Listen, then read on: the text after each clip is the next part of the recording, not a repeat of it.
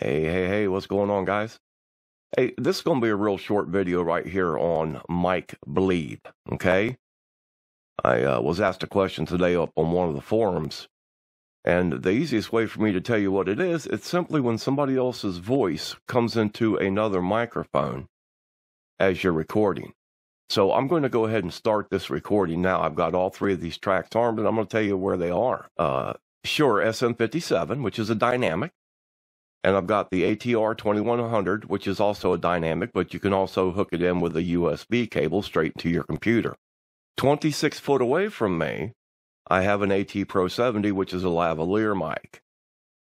And I've got it through the house, down the hallway, back into the living room, wrapped around uh, right there at the outside door. So you might even hear a little bit of traffic come through on this.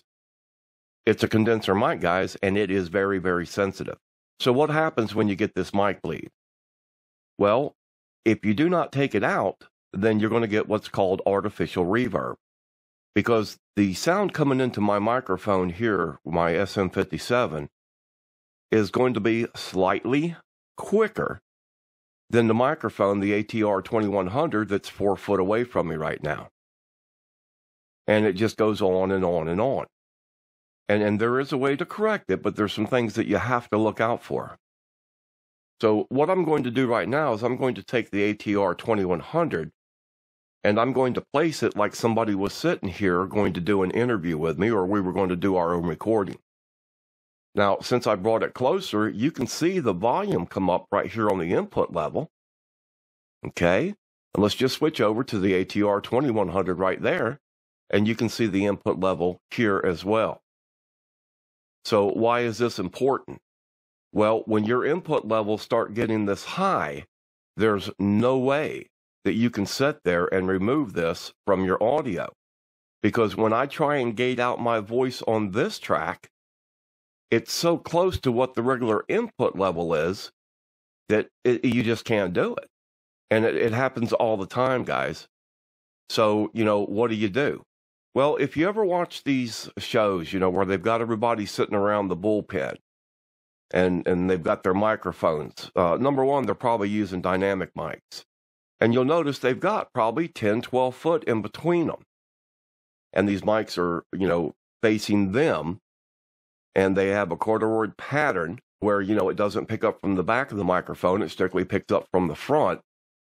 And they've got some sound engineer sitting back there that's running a live gate you know, everybody's instructed on the proper mic technique, you know, what to do, what to say, just like the people. Now, the AT Pro 70 is what you would see somebody using up there in the news world. You know, somebody that has that lav mic pinned over to their, their collar or their dress. It goes in a certain position. Uh, there's a certain, you know, etiquette that, that you use when you use lav mics, and everybody knows this. They're taught how to do this. So again, you've got somebody sitting back there, you know, and you can do this with Reaper as well. And and you know, if you watch my videos, you guys are saying, "Wait a minute, Mac, you know, you you you always say not to do this stuff pre-FX." Well, that's true, guys. But you know, I mean, you know, give me a break. After 40 years, you know, you, you got to learn something. Okay, you know, even if it's the wrong way, I'm going to be the best at doing it the wrong way. So, uh, you know, just kind of bear with me you know, when I sound like I'm uh, contradicting myself, I'm truly not. Because uh, working to hear again on a piece of audio, the feedback. Uh, now, if you just noticed over here on the right hand side, that was a motorcycle that just went past. And I'm probably about 40 foot from the road. Okay? So we'll go ahead and stop this recording. And we're going to save all three of these files. Now I'm going to mute my outro. Where's my outro? There we go. And I apologize. I was playing around with this earlier. And, and, guys, just so you know, if you want to move your tracks, it's just that simple. See, because my outro always goes to the right. Now, I don't need to arm these anymore.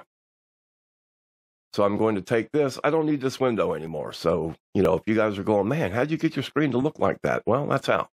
Reaper's real simple to manipulate any way you want to. So there's my three recordings. Okay. All of this now is the same voice. So let's go ahead and play this and just listen to what it sounds like with all three of them engaged now. Okay? So here we have, uh, this is my uh, Shure SM57, which is a dynamic. And can you hear all that background static? Okay? Can, can you hear all the the reverb, the, the little bit of echo? So now let's go back and let's just play the original file, uh, which is the uh, SM57, and listen to it. Okay. So here we have uh, this is my uh, Shure SM57. Okay, now let's go ahead and add on the other dynamic that was in the room. Let's listen to that. Okay, so here we have uh, this is my. Uh, now, if you remember, I picked it up and moved it over closer like we were having the interview. So let's go ahead and listen to it here. Take the ATR 2100, and I'm going to place it like somebody was. Hey, Rebecca, that's what that noise was. And I apologize because it sounds just like wind coming through on a windy day or an oscillating fan to where it comes through. And that's another thing, guys. You know, don't be putting air into your microphone. If you're outside, use what they call a dead kitten. I did not name it. Okay, all it is, it's that great big fuzzy thing you see people put on their mics, you know, in the TV shows and things.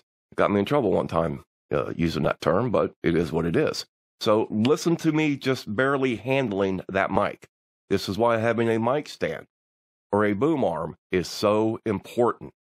And and that's another thing, guys. When you see these broadcasters or these reporters out on location, you'll always see those people trying to grab them mics, and you notice they don't give it to them. Because if you do, that's the noise you're going to hear. Take the ATR 2100, and I'm going to place it like somebody was sitting here going to do an interview with me, or we were going to do our own recording.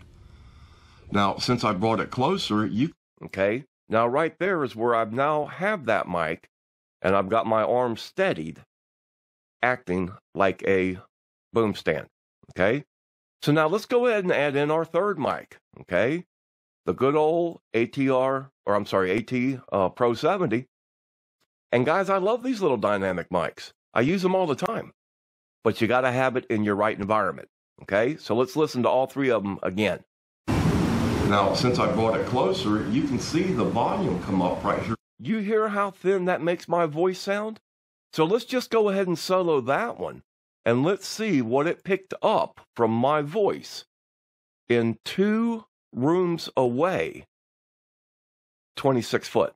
Now, since I brought it closer, you can see the volume come up right here on the input level.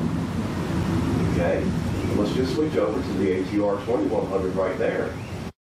All right, guys, and that's Mic Bleed. All right, take care, God bless, be safe, and we are out of here.